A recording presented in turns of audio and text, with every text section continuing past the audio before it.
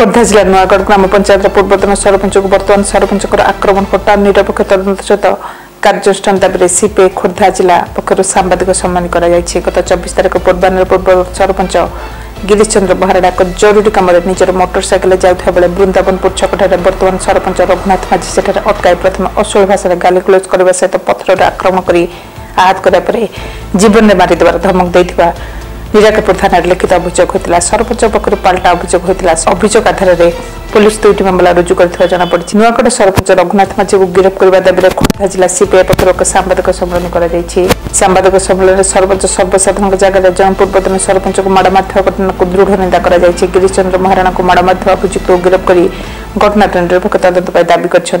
আগামী সাত দিন মধ্যে পুলিশ অভিযুক্ত সরপঞ্চ রঘুনাথ মাঝিক বিরুদ্ধে কার্যানুষ্ঠান গ্রহণ নকলে সিপিআই দল পক্ষ নিরাকপুর থানা সম্মুখে আন্দোলন করা চেতাবনী দিয়েছে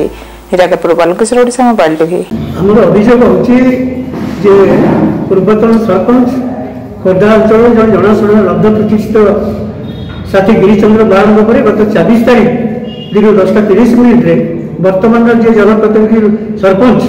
ଶ୍ରୀଯୁକ୍ତ ରଘୁନାଥ ମାଝୀ ଶାରୀରିକ ଭାବେ ତାକୁ ଆକ୍ରମଣ କରିକି ତଳେ ପକାଇଲେ ବିଧା ଗୋଟା ମାରି ତାକୁ ତଣ୍ଟି ଚିପି ଜୀବନରେ ମାରିଦେବା ପାଇଁ ଉଦ୍ୟମ କରିଥିଲେ ତେଣୁ ଆମେ ଦାବି କରୁଛୁ ଯେ ଏଇଭଳି ଜଣେ মান সমাজ যোগী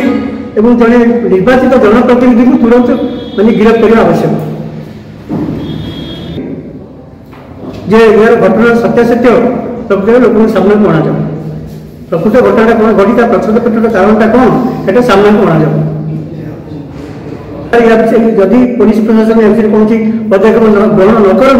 বর্তমান বটিলা প্রতি 24 তারিখের ঘটনা আজ 27 তারিখ এগুলো তো কৌশি কার্য মানে কার্যানুষ্ঠান হয়ে নাই যদি কিছু কার্যক্রম গ্রহণ সরকার ন করতে বা প্রশাসন গ্রহণ ন করে তাহলে বাধ্য হয়ে আমি রাজরাস্তা করলাম